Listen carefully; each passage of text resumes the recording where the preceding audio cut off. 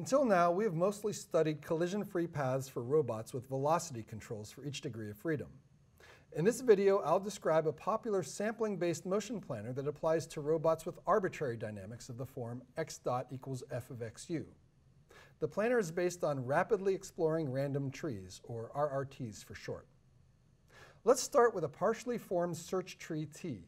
X start is the initial state, capital X is the state space, and any state in X goal is an acceptable final state. The RRT planner chooses a random state X samp, finds the nearest node X nearest already in the tree, finds a collision-free motion from X nearest to X new, which may or may not be the same as X samp, but at least is in the direction of X samp, then updates the search tree. The process repeats until a node is created inside the goal region X goal. Every so often, the sample X samp should be chosen inside of X goal to try to complete the planning problem. This video shows an RRT generated for a two-dimensional space. Samples are chosen uniformly, randomly from the space, and the motion planner from the nearest node goes directly toward the sampled node up to a maximum step size. The randomly chosen samples pull the tree to explore the state space. Compare this to a random walk where at each step the tree is grown from a randomly chosen node by the maximum step size in a randomly chosen direction. After the same number of nodes, the random walk has not explored very much of the state space.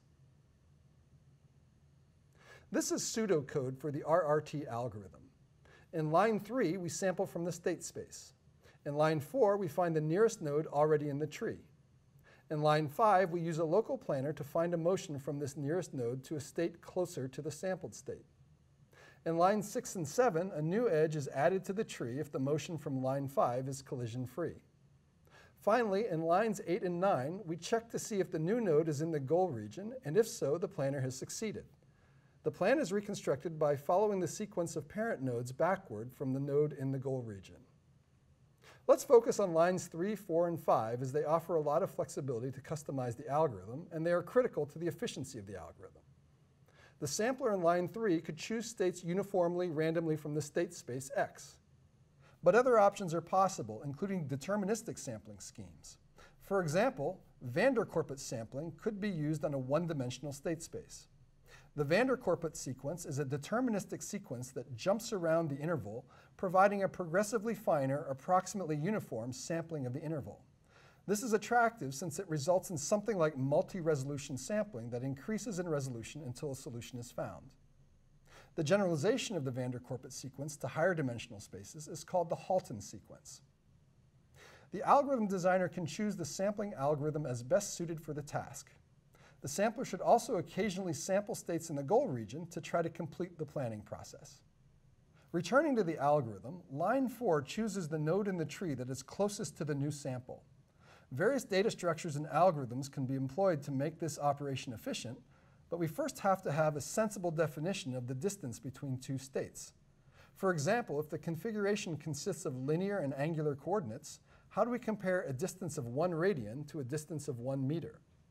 As another example, this blue car represents a sampled configuration of a car, and these white cars represent configurations of nodes already in the tree.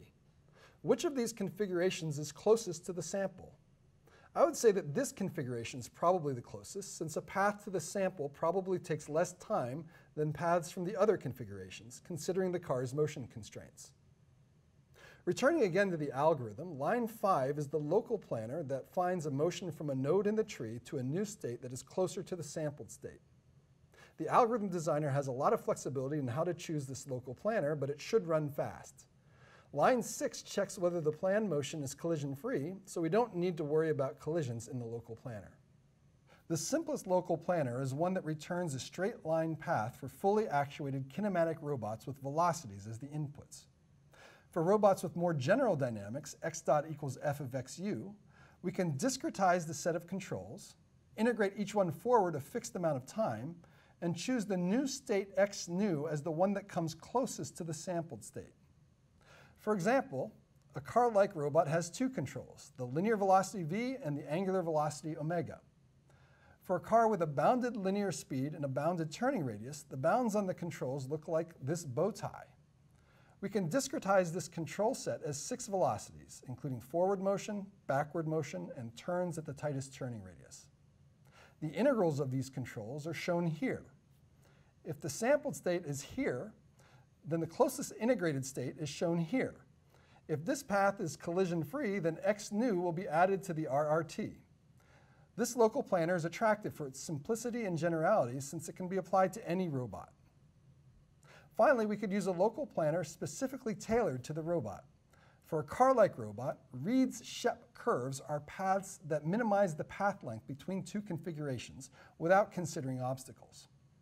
Reed-Shepp curves are good candidates for local plans. RRTs are simple to code and customizable, and variations of RRTs have been used for many different applications.